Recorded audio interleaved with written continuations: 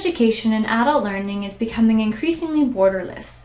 The movement or trade in goods and services, including educational services, across international borders has become a key economic outcome of globalization. This video will discuss the impact of globalization and internationalization on adult education. During this video, please reflect on the following analysis questions.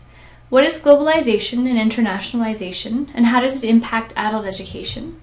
What is the role of adult education and training within the context of globalization and internationalization? What models of internationalization are present in adult education in Canada? And what are the limitations of globalization and internationalization? Globalization is defined as the flow of technology, economy, people, values, and ideas across borders. It is having a profound impact on almost all aspects of society, including the nature and function of adult education. In relation to adult education, globalization can be defined on one hand in terms of the economic, technological, political, and societal forces opening access to 21st century adult education. On the other hand, it can also mean increasing the exposure of traditional adult learners to international experiences. The terms globalization and internationalization are often used interchangeably. Navarro explained that globalization is what is happening in the world. It is the disappearance of boundaries between peoples, countries, and issues, the easier and faster communication between all parts of the world, the homogenization of the world, and the interdependency of the world. Internationalization is what has to be done in order to adapt to this new system. Globalization has increased the rate of internationalization in adult education. In traditional post secondary institutions, internationalization initiatives, including creating a more international curriculum, fostering opportunities for students to study abroad, encouraging faculty and student exchanges, increasing international student recruitment efforts, and exporting or importing programs. Evidence of increasing internationalization includes an increase in the cross border activities of higher education institutions. Cross-border higher education is fueled in part by the growing worldwide demand for higher education and is characterized by increased mobility of students, courses, and program, and increased mobility of institutions across national borders. Cross-border higher education encompasses a wide range of modalities from face-to-face instruction to distance learning. Most post-secondary institutions believe that a cross-border or international experience is valuable to students in an increasing globalized world. A survey on the internationalization of higher education, conducted by the International Association of Universities in 2005, ranked the increase in international knowledge and intercultural skills in university students, faculty, and staff members as the greatest benefit of internationalization. During the 20th century, most international students were undergraduates, and recent trends suggest that undergraduate international students are on the increase and may outnumber graduate international students in Canada. Internationalization also includes faculty mobility, such as short term leaves, summer teaching in other universities, or sabbatical years abroad, as well as the hiring of academics trained abroad. There has also been an increase in institutional mobility, where Canadian institutions set up facilities abroad or create joint programs with local academic institutions. The majority of the mobility flows from north to south, and even very traditional universities are part of this new phenomenon. There is also growth in the delivery of programs to students who reside in other countries through distance education. Another common trend is the internationalization of curriculum content, which includes the presence of more international content in a variety of study areas. According to Guo, there are three models that guide the internationalization of adult education in Canada. The first model, human capital development, is characterized by the training of individuals in foreign universities in areas perceived as economically relevant by the sending countries, by the host countries, and or by international agencies.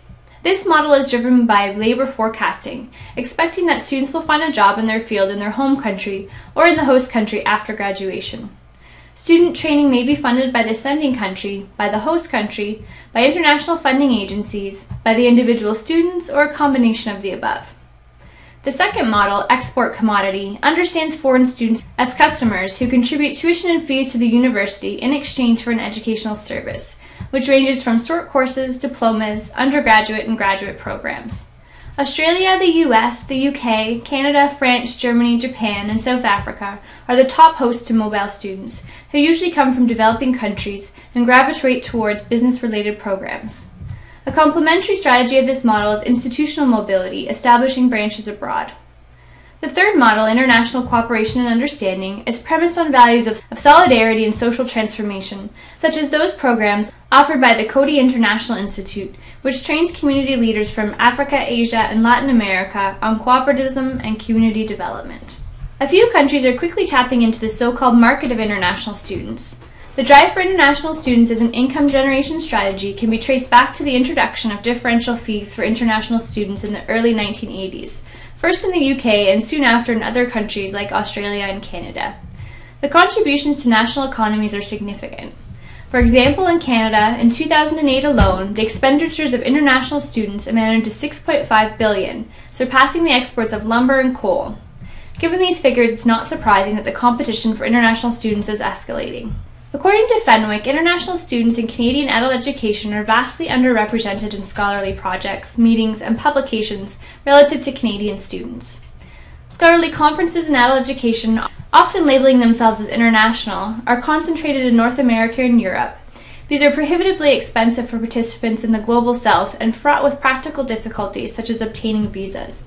In addition, refereed journals in education are mostly in English, with most concentrated in the US and the UK, and non English academics have reported difficulty getting published in these journals.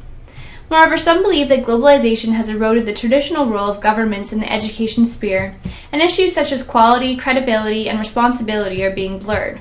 While in most countries the national frameworks for quality assurance, accreditation, and recognition of qualifications take into account cross-border higher education, in many countries they are not prepared to address the challenges of cross-border provision.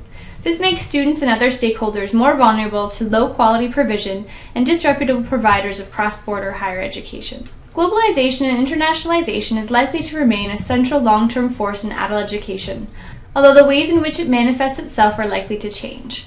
Open and distance learning is likely to become the most significant driver of cross border provision. As this happens, challenges will arise as both institutions and governments attempt to control accreditation and globalize their accreditation systems. Please reflect on the following synthesis questions. What is your experience, if any, with globalization and internationalization within the field of adult education? Are there additional models of internationalization that you could see emerging in adult education in Canada? How might the limitations of globalization and internationalization be overcome? And how do you think globalization and internationalization will continue to impact adult education in the future?